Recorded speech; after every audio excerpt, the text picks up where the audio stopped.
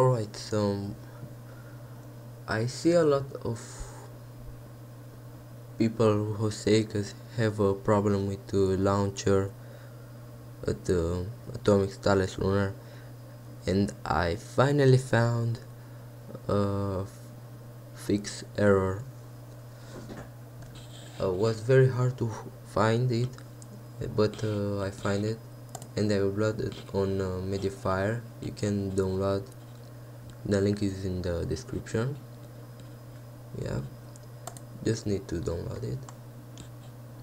Save it. This will really work for who have the Terry launcher error. Okay so what you need to do is you have these two the game and the launcher. You'll right click right click on game open file location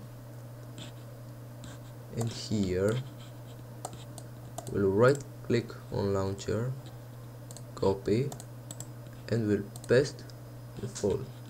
We'll click on copy and replace and all is done. Alright. So delete this will send to desktop.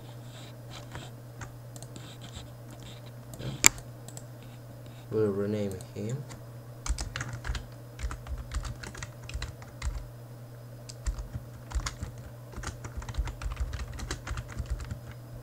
Right.